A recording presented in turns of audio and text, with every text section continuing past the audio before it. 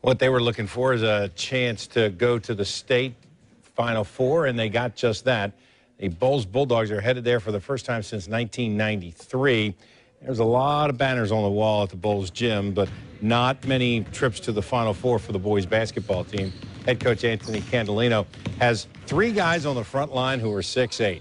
And these guys have been able to play a schedule this year that prepared them for the playoffs. Remember two years ago they were undefeated in the regular season? Lost in the first round of the playoffs to Jackson. That didn't happen this year because they feel like that they were more prepared going into the postseason.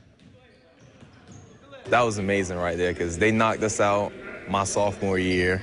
Then Ribault knocked us out last year, so it just felt good to finally get a playoff win here. We played a very difficult schedule this year for this reason, to prepare us for this type of games that are coming up and to prepare us at this time of the year.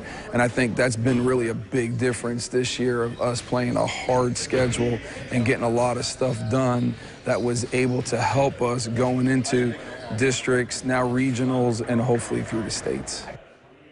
Bolles and Kenny both headed to the Final Four. Bolles plays Tampa Catholic Wednesday at 1 o'clock down in Lakeland, while the 5A Kenny takes on Tampa Jesuit. That's Thursday at 1 o'clock in the afternoon. Now,